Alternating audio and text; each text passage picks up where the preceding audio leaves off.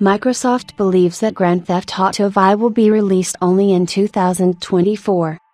After the mass of gameplay of the working version of Grand Theft Auto V leaked to the network, users came to the only correct conclusion the release of the sixth numbered part of the Cult series will take place very soon. Today it became known that Microsoft, which sent a statement to the British antitrust regulator in the case of the takeover of Activision Blizzard Holding, in a comment on the future of the gaming industry, made the assumption that Grand Theft Auto V will be released in 2024.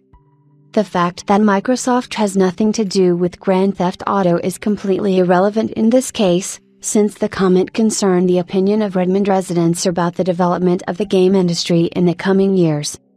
It is noteworthy that Microsoft does not have any exclusive or insider information regarding Grand Theft Auto V, and in its forecast it refers only to publicly available information, including the recent major leak of information about the future project.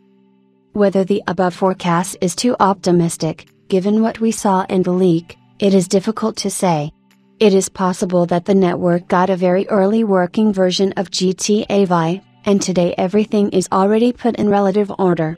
Rockstar, by the way, confirmed the leak and expressed great frustration with what happened, but did not share any official information about GTA 6.